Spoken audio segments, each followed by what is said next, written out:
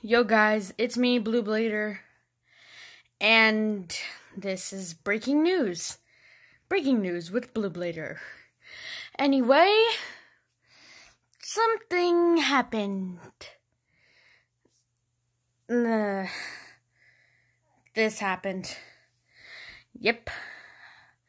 Something happened in my hand. I might have broken it. So now I'm going to. I'm not going to be making Beyblade videos or Fortnite videos.